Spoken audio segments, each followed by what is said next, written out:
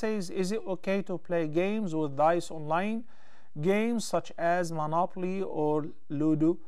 Uh, we won't be dealing with the with dice physically. Please let me know. Actually, the cause of the obligation or the prohibition is what determines whether anything similar to it by analogy is uh, mandatory or forbidden. I mean, Allah subhanahu wa ta'ala talked about يا أيها الذين آمنوا إنما الخمر والميسر He spoke about two names to major practices. Al-Khamr. What is Khamr? Khamr is not only black and white. It's not only Budweiser.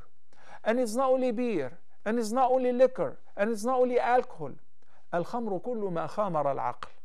Anything that makes a person intoxicated, whether in the form of drink, in the form of an injection, in the form of inhalation, khamr, it screens your mind. So by analogy, it gets the same ruling. Haram.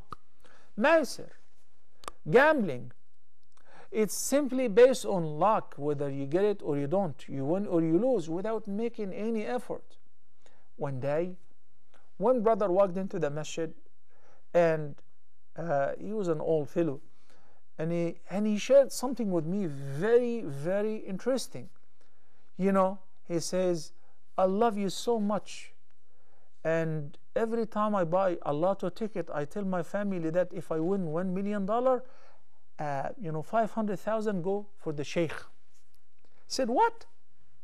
I said yes so you can do your da'wah expand your masjid and your school and so on so, of course, I did not ridicule what he was saying. I said, but you know, this is uh, gambling. He said, I know, I know, but we're going to do it for a good cause. No, you cannot do haram for a good cause. You know? That the, the, the, the, the, the goals do not justify the means. No, this is haram, even for a good cause. Even if you build a masjid out of it, or a school, or a hospital. No, it's not accepted. The Prophet ﷺ, what is the effective cause behind forbidding dice? Uh, Rasulullah ﷺ says, whoever plays with dice, it is similar to immersing your hand in the blood and the flesh of the swine. Because it's a matter of luck, no effort. No effort, no intelligence.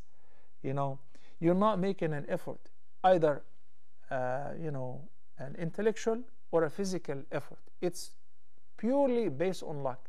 And people may play that in the form of gambling on money, and it's also haram, it's even worse.